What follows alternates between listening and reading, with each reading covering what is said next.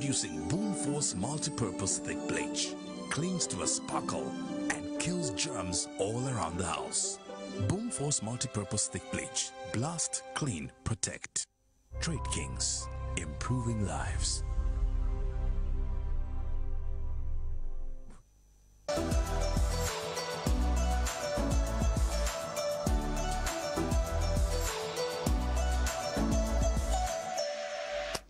Welcome back to the Diamond Breakfast. We get into a very interesting conversation, and this is around a political party that some people may feel is just for old people. This is UNIP, and looking into the United National Independence Party, um, this is one party I think that has managed to participate in politics, has been running for such a long time, but looking at where they're coming from and where they are today, it looks like this party doesn't really have the mark it once had this country. But it looks like they're reviving things, rebranding, and shaping things around. And today we do have Tanya Malama Fooks, who is their spokesperson, running us through what is up the UNIP sleeve. Are they ready to bounce back into the political Champions League? And do they have what it takes to stay in the league? Well, we get to find out from her as we engage on this and much more.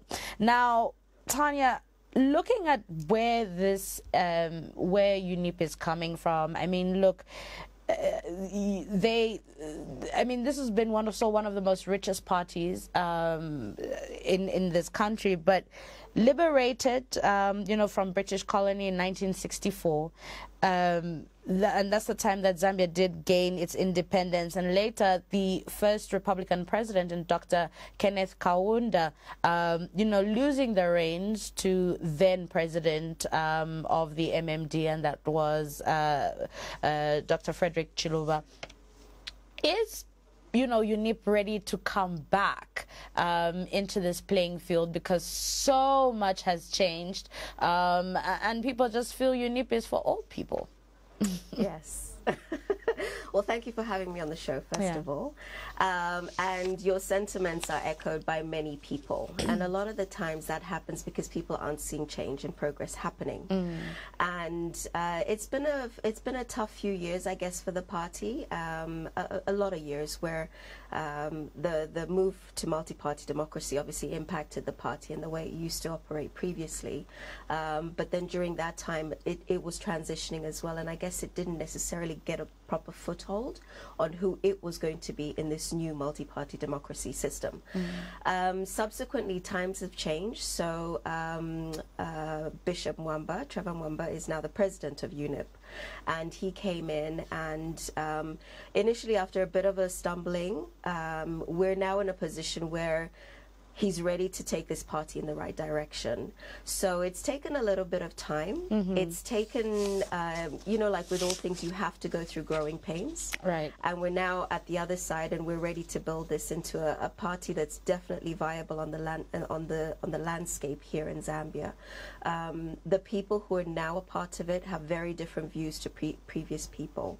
So um, you'll see there'll be younger, more professional people coming through, and our focus isn't um, what's going on internally in the party, but what we can do for the people.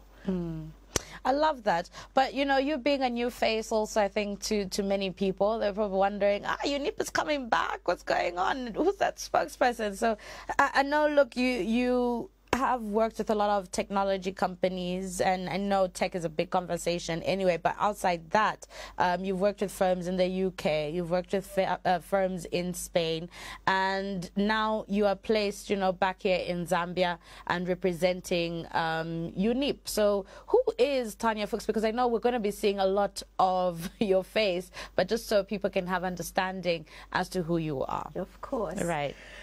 Uh, so I am Zambian born. Um, I was born in Mansa, and I spent a lot of my early years here in Zambia um, up until a, a period when I was around about 14, and uh, my parents sent me to school abroad. I was at boarding school. And um, I was back and forth up until they then decided that um, things were in, a bit tough in Zambia for them, and they decided to transition back to the UK. At that time, I was like 17, 16, 17. I was ready to come back to enjoy Zambia, and my parents said, nope. we're staying in the UK. Yeah. So for me, Zambia has always been a part of me. Um, and I can tell you for about 10 years, I always said, I'm going back, I'm going back. And I never did. And you transitioned to life over there. I got married, had a child, lived in Spain, lived in the UK worked in the companies, chose marketing as my field of um, expertise that I wanted to go into, and you separate yourself, you know. And but I did have this hankering always for Zambia. Um, it was probably just before COVID mm. that I reconnected. I actually connected with the uh, Zambian embassy um, in the UK and um, built some good relationships with them. Did a couple of things like International Women's Day with them. Um, I launched a magazine with them as well, and it was called Inspire Zambia. And so it just really brought me back to home. And I was like, I do miss home. So the minute COVID was like over and we could leave, I said, bye, I'm out of here. so jumped on a flight, came back. Right. And um, I initially came for three months and I haven't left. So that wow. was two years ago. Wow. And so during that time, um, I've kept in touch with a lot of people. I still have family. I speak Zambian. I speak Bemba. I speak Zambian. That's what I say in the UK. Yeah. I speak Bemba. I speak Nyanja as well. So um, I'm very in touch in that sense. I'm um, I have my ear to the ground a lot, and so the opportunity came up. Bishop Mwamba approached me and um, asked me if I would be interested in the post, and I was. Um, initially, I had to think about it. Obviously, of course. I mean, politics. Exactly.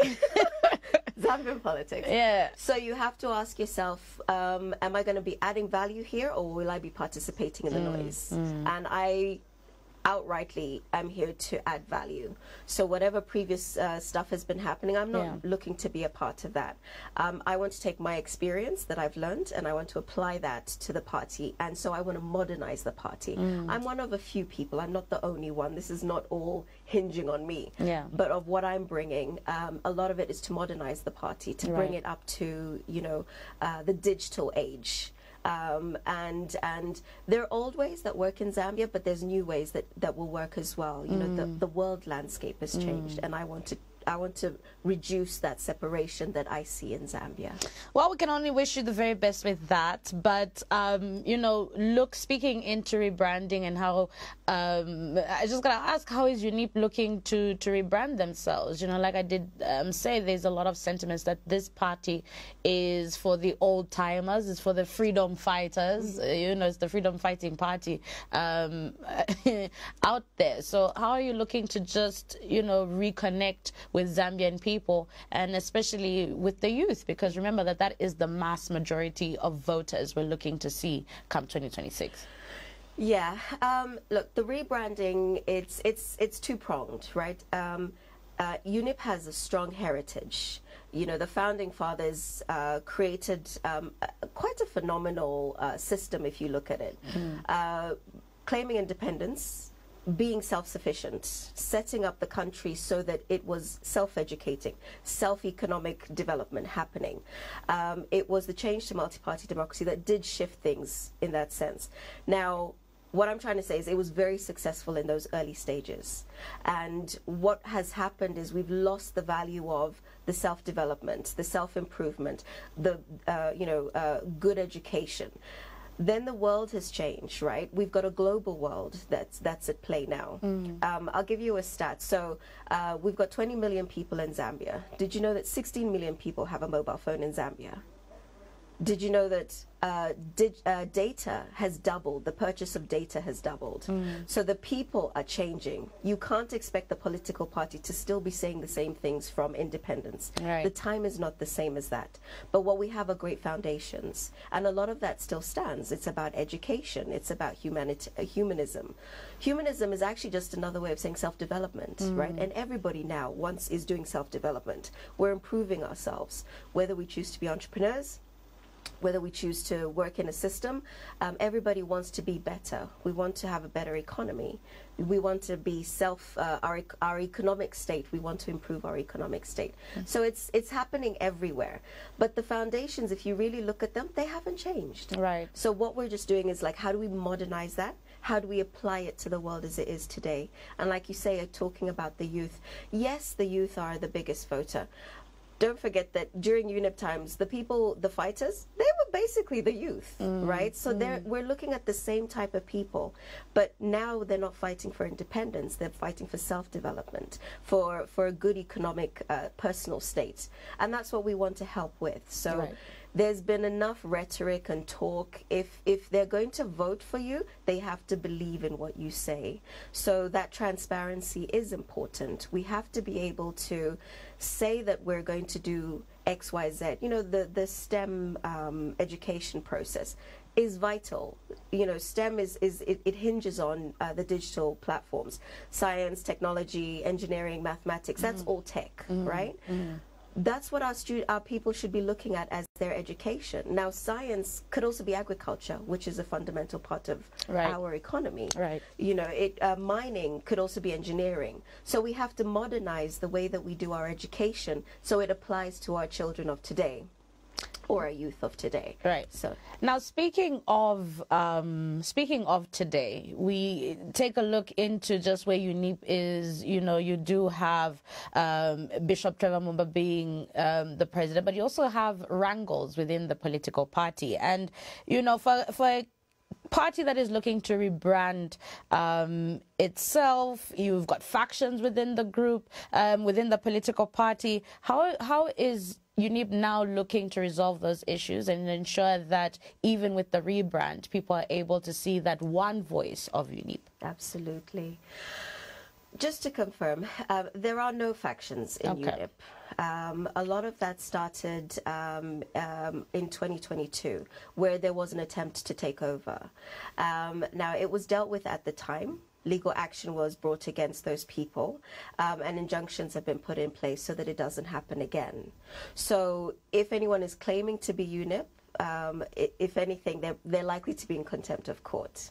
So if um, Bishop Mwamba is the president of the UNIP party, there are members within the UNIP party who have been there from before, who are still there, and they believe in what he is going to be doing under UNIP. Mm-hmm. So but what we've got is stories that are still being told. But like I said, that was 2022. Right. This is not that same time. Mm-hmm.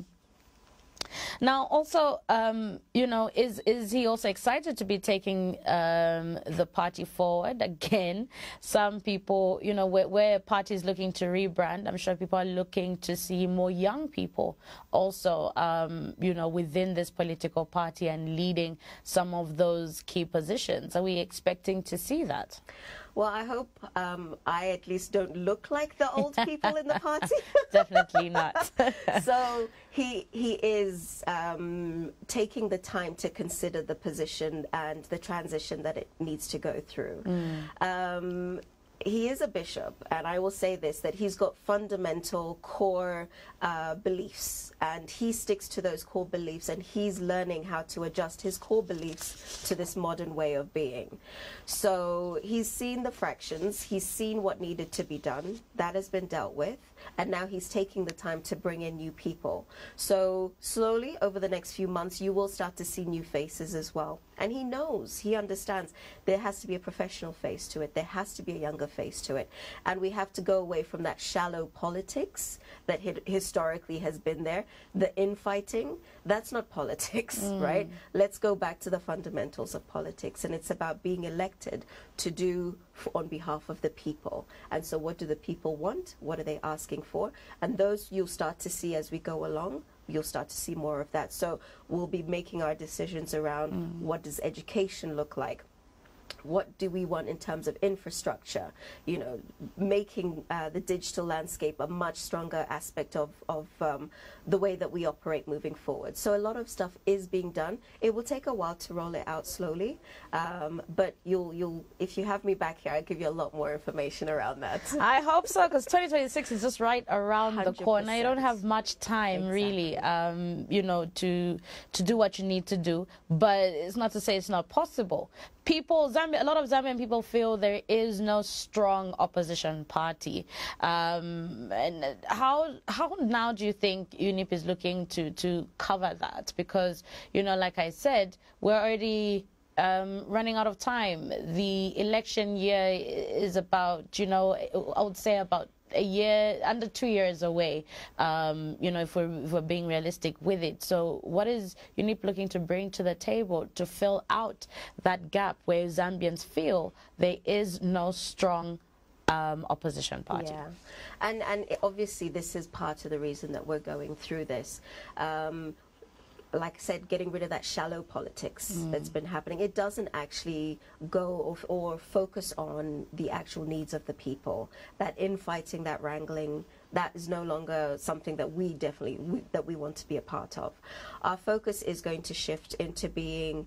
Um, um, a useful voice against the current party that's there. Mm. And by that I mean if the government um, implements um, any new legislation or for example, some of the recent activity where they've um, had new deals that have come about, the debt restructuring, for example. Our position is to review those things and really look at it fundamentally to the people of Zambia who is going to benefit from this. Right. And then to push it so that we say, look, it looks like some are benefiting, but others are not, and we would like to see you do more of this side of things. And that's really what we're going to push for, mm. to be a, a, useful opponent to the incumbent party. Um, uh, but of course, eventually we want to be um, the main party that's there because we know we've got good, we've got cool, good core values, and we want to bring that to the people. Um, so that's our, our that's our aim. The political process. Um, I think we, we, we've got a good opportunity here in the next year and a half to really show the Zambian people what we're working on, who we want to be. And like I said, transparency is right. important. They need to believe in us. And we've got that time now to build upon that, um, to, to make them learn who the new UNIP is, to mm. stop judging us off old ways, and then to give them hope for the new, uh, the future. Right. So now, in conclusion, um, you know, what would your message be then, um, you know, to the people out there? Um, don't like, you know, you know, it, it's UNIP rev- revamping, rebranding, um, trying to get back into the Champions League of, of politics. So, what would be your message, you know, to people? The message really is about uh, look, we're going back to our core values. So we want you to pick up back on those core values because we believe it applies in the Zambian homes now anyway. Mm. And if we align with those core values, then we're on the same page. Transparency is a huge part of what we're going to be. You know, uh, we want to do things that are uh, open and people believe in us. We have to create that belief in the party. There's a lot of apathy, not just in UNIP, but in you know previous parties that have gone before.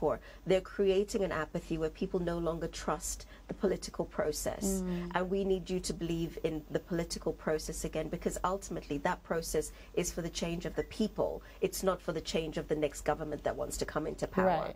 So if we can change the, the process for you, if your requirements get met, then we have delivered on your on your your asks. Mm. So belief, understanding, transparency, and going back to the core values. Wow.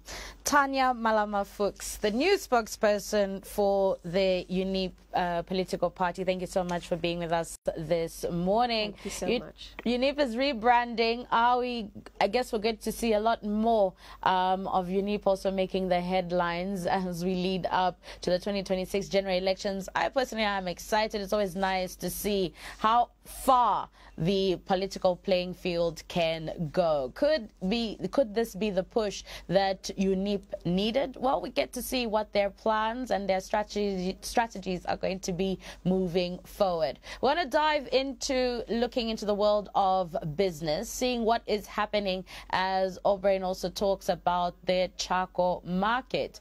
It's a time where load shedding is at its high and people are pretty much fed up of it, but also again People are looking to different ways of managing. While some businesses are suffering, it looks like others are booming. Aubrey, over to you.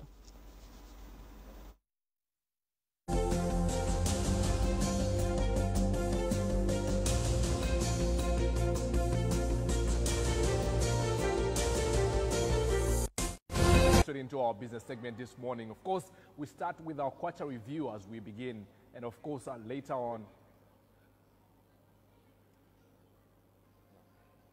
Thank you so